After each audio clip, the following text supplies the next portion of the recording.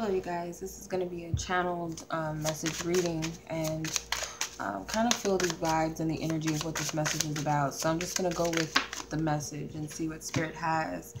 Um, yeah. So this is the energy I'm getting. Um, it's a codependency situation, codependent relationship or pattern or cycle. Um, and I feel like it's very karmic in nature because um, I have the Justice card and I also have the Ace of Cups, which tells me that there's something that needs to be healed here, but there's also contracts or karma involved and also you have the Three of Pentacles. Okay.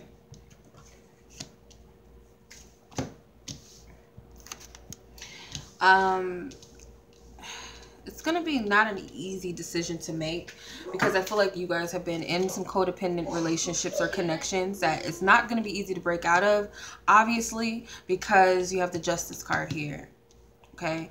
So it's kind of like you're going to have to make some big decisions on whether or not um, you're ready to break this cycle or not because it is a cycle. It is um, a lesson that needs to be learned. Some of you are dealing with third party relationships, okay? Um, and you feel like you are powerless in the situation, kind of like you should be here. You're stuck. The hangman. You feel very stuck here. Um, with the page of swords, it tells me that that you might have gone through a rough period mentally. Someone might have been verbally abusive, like, you know, kind of keeping you stuck. I'm hearing the word finesse. like finessing you, just yeah, deceiving you with their words, lying to you to keep you here stuck. Um, there's trickery going on with these relationships with these people.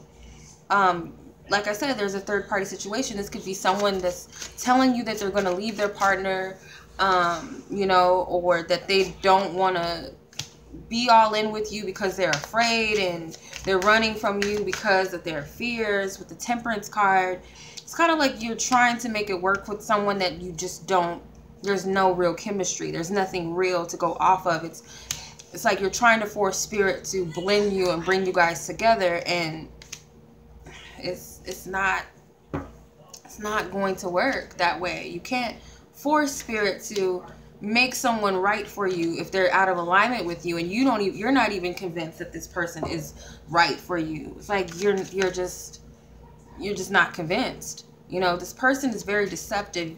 With the Nine of Pentacles, I get where this is going. Um,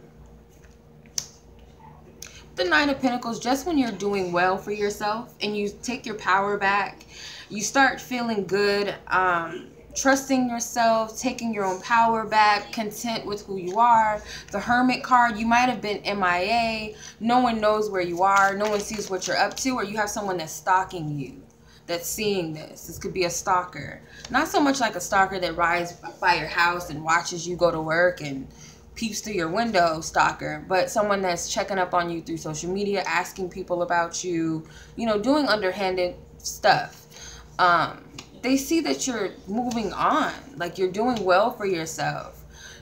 Could be that they're seeing things like you're partying, you're going out on vacations. Could be that you found someone else for some of you, or your, your money is right, you're doing good.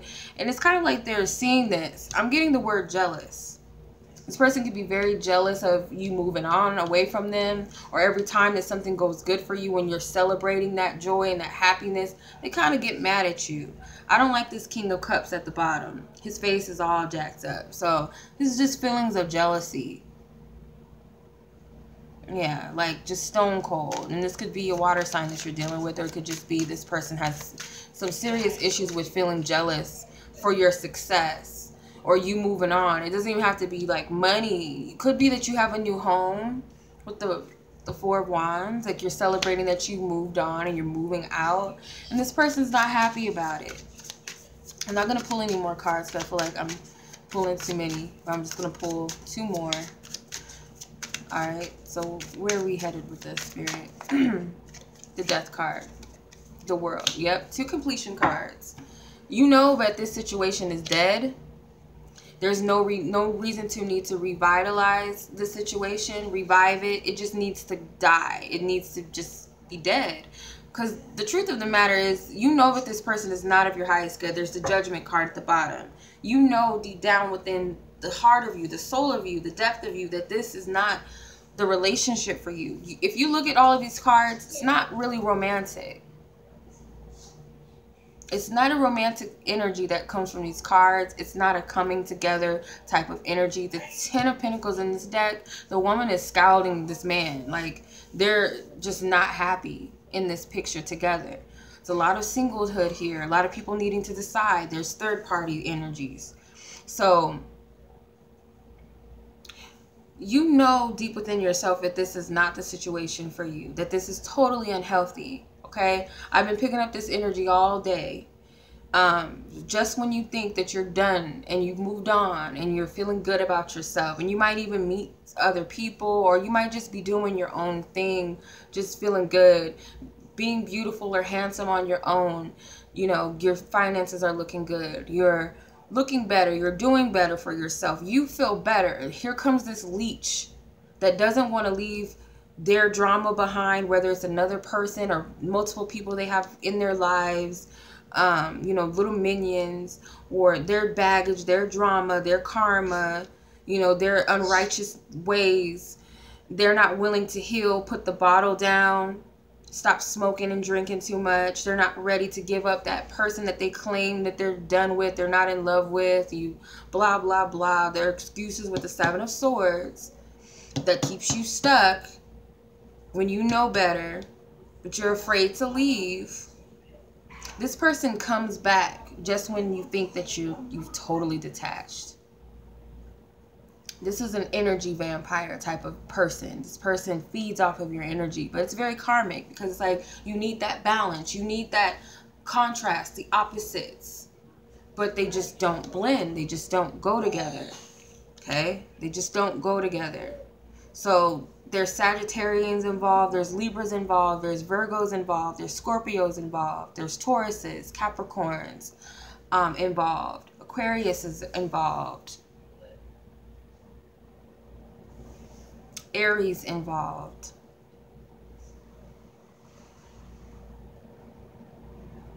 These are the people that are involved that are going to be hit heavy by this codependent energy.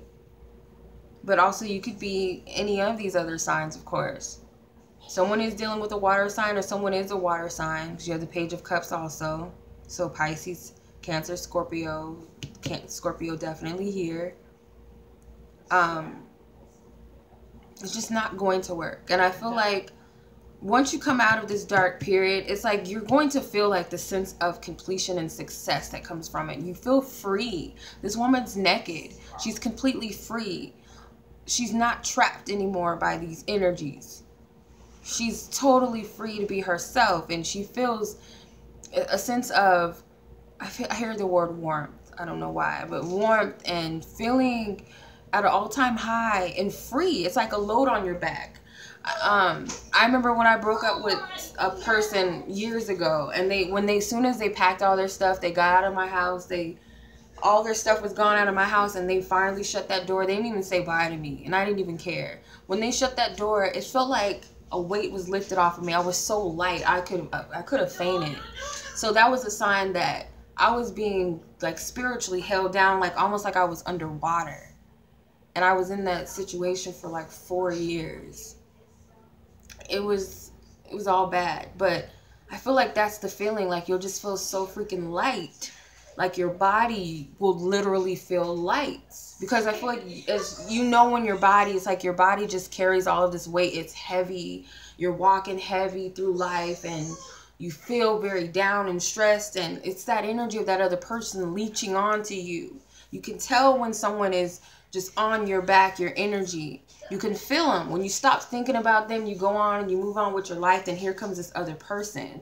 I feel like you need to heal from the cycle because you'll be back into this loop of with the two of wands of confusion do i go back? Should i stay? Should i go? Then your heart's open again because you're starting to choose that person again. You feel like this person is it's almost like you give this person too much power over you. Or the energy that you feel with this person, you give it too much power and say, you know, because it won't ever go away, it must be something divine here. And it's not. Other than the fact that there's karma that you need to heal and learn from this situation. Whether the other person wants to learn their own part of the karma, that's up to them. But you can't try to force this other person to heal with you. Spirit can only work so much. What the other person is doing is not your business.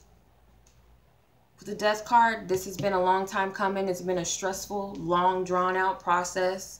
And I feel like you're going to close the chapter on it because you know it's time. You know it's time. You either got signs that it is time, messages from spirit, from other people, just synchronistic messages out of nowhere, dreams about it, you know it's time. And this person is not going to free you until you say, you know what, enough is enough.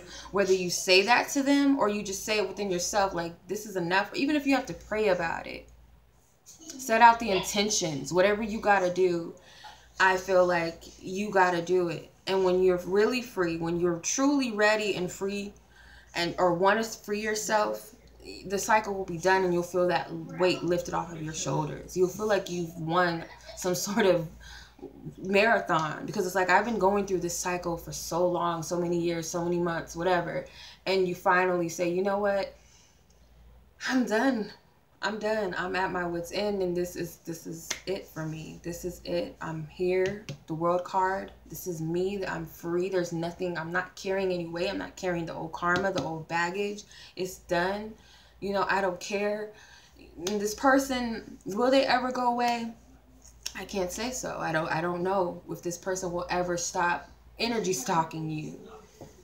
I can't say that. I feel like it's all up to you and your willpower and your strength to say, you know what, I don't need this energy anymore. And you won't feel tempted to go back because you'll feel such of a light freedom. And you might have felt that period, you know, with the nine of pentacles, you did feel that that stench of feeling free by yourself and I got this going for myself. But this woman doesn't need any. It's kind of like you needed to distract yourself with items and material things and people. But once you just say, you know what, even with that stuff here, I got to feel that contentment and that freedom just by me, not carrying anything. She doesn't have all this extra stuff with her or people involved. It's just her. It's just her She's carrying these batons, which represents her victory and success. And she has this drape around her, which I feel like is a drape of her wisdom, the wisdom that she's carried, her psychic abilities, her insight, her intuitive knowing. Also, she carries that with her. She's graduated on that level. She sees things. Her discernment is deep. It's evolved. It's grown throughout this whole entire process. She can't easily be fooled and drawn back in anymore. She's free. She doesn't need anything. She doesn't need anything to validate her, to occupy her time, to get out of this person. Because I feel like that's what we were doing, um, is holding on to people and things like different, you know, outside vices just to distract us from this energy of this person. And now it's like we don't need that anymore. With or without those things, I'm detaching from this person. I don't need to be distracted anymore. I'm just going to do it because I know it's time and it's what I want. And I feel good doing that so I can get on with my life. It's been a long time coming. It's been a long time coming. So that's the message, you guys. I hope that this reading resonated with you and gives you a lot of insight and clarity. Put you on the right path, you guys. Not that you were never on the right path to begin with, but putting you where you are your highest, you know, where you're your best self, where you can actually be your authentic self and be free and be in healthy situations and be healthy within yourself. You know, you don't need this karma anymore. It's done on your end. Whatever the other person is up to, their karma, you know, whatever that is for them, it's going to be what it's going to be. And it's not, you know, your responsibility. Okay. So, I mean, I definitely feel like this person's going to continue to sneak around or snoop around where they're doing it in secret or they just start coming in your face you know, that's their issue, that's their problem. I feel like it's a 360 now. Maybe it was you that was all up in everybody's face and trying to, you know, make something work and make something happen. And this person was like dodging you, trying to run, just full of lies, full of bullshit. And the tables have turned. It, now you you're moving on about yours, but you're not entertaining it, you know, because I feel like they were entertaining it. They were lying to you by at the same time like running off and sneaking off and you know, just playing the game, but you're not, you don't have time for that. That's not you. You don't have time for this. So, congratulations to whoever got out of that type of energy, that situation. Congratulations to you. Um, as always, I'm sending you much love, you guys.